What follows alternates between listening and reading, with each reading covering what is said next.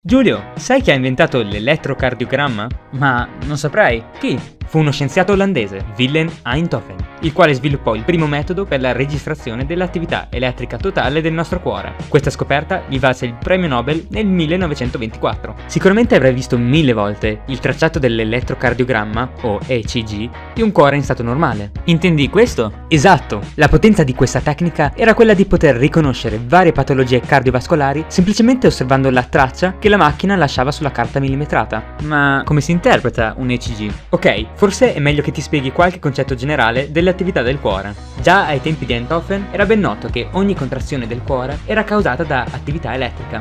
Come avviene in neuroni e muscoli, vi è la formazione di un impulso elettrico dovuto alla depolarizzazione di membrana delle cellule che lo compongono. Questo fenomeno è dovuto al passaggio di Na all'interno della cellula e K all'esterno. L'impulso è originato dalle cellule autoritmiche del nodo senoatriale, un pacemaker naturale. Esso poi si propaga verso il nodo atroventricolare, depolarizzando gli atri, i quali si contraggono pompando il sangue nei ventricoli. La propagazione nei ventricoli poi permette l'espulsione del sangue fuori dal cuore. In pratica il potenziale investe tutte le cellule del cuore, variando il suo profilo. L'ECG mostra la somma di potenziali generati in tutte queste cellule, perciò può essere usato come rappresentazione inconfondibile dello stato del cuore e dare informazioni sul ciclo cardiaco. Mi pare di aver capito, però come si fa a registrare il segnale del nostro battito? Immagino che servono degli elettrodi per captare la differenza di potenziale. Esatto, Einthoven sviluppò un galvanometro che prevedeva l'applicazione di elettrodi su punti strategici della superficie del corpo. Infatti l'onda di depolarizzazione generata viene percepita anche in superficie. Con queste derivazioni esploriamo in maniera definita l'attività del cuore, formando il famoso tracciato. La prima onda è detta P e corrisponde alla depolarizzazione degli atri, legata alla loro contrazione, mi raccomando. Poi vi è il complesso delle onde QRS, che corrisponde alla depolarizzazione dei ventricoli. Questa onda molto grande nasconde il segnale della ripolarizzazione degli atri. E infine vi è l'ultima onda, la T, il segnale della ripolarizzazione dei ventricoli. Questa è la forma standard, giusto? Esatto. Quindi da cosa si deduce un'anomalia cardiaca? Beh, prendiamo ad esempio una tachicardia. La forma del tracciato sarà uguale, ma la distanza, picco picco, notevolmente inferiore. Appunto, c'è una frequenza cardiaca anormale. Invece per un'aritmia avrò una frequenza dei segnali che non è costante. E un infarto? L'ischemia può portare alla morte del tessuto, impedendo così la ripolarizzazione di parte del cuore. Il tracciato ECG presenta pertanto allargamento dell'onda Q,